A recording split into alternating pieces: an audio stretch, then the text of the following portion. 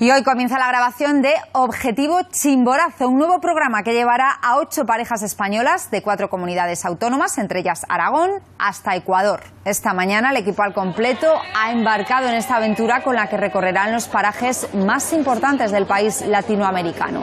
Diferentes pruebas medirán sus fuerzas y el ganador, además de obtener 12.000 euros, podrá ascender al volcán Chimborazo.